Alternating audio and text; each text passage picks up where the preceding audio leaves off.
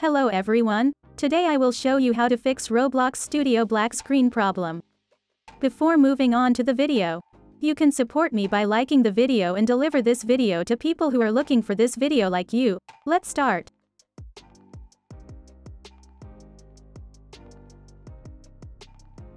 Our first solution is to change graphics mode. For this, we click on the file at the top left, then click on Studio Settings. In the window that opens, we click on Rendering.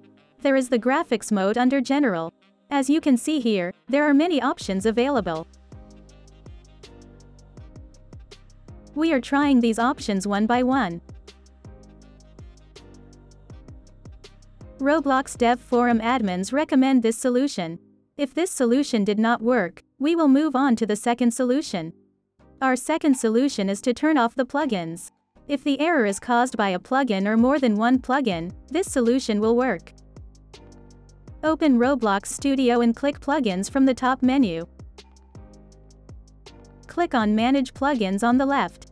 Here you can turn off all the plugins or try one by one to find which plugin is causing the problem. I'm closing all of them here. After closing the plugins, I close this screen by pressing the cross on the right. That was our second solution. Now we will move on to the third solution. Our third solution is to reset Roblox Studio settings.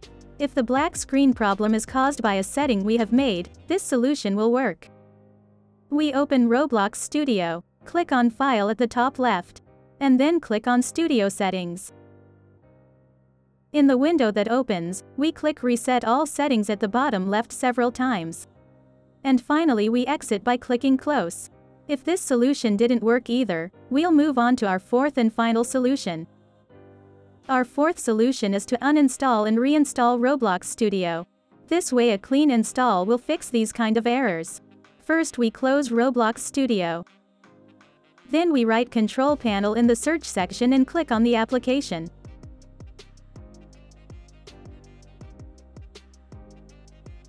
Click on Uninstall a program.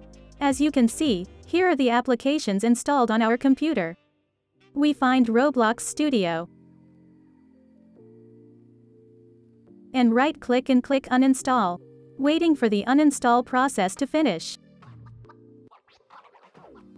After the uninstall is complete we need to delete the app data. To do this, we type percent local app data percent in the search section. Click on the folder. Here is the data of our applications. We find the Roblox folder. After we find it, we delete it. Yes, now all you have to do is reinstall Roblox Studio. You already know how to download it. I will not show it so that the video does not get long. We deleted Roblox Studio with its data. That was our fourth and final solution. We have come to the end of the video. I hope these solutions fixed your problem. If the video helped you, don't forget to like the video.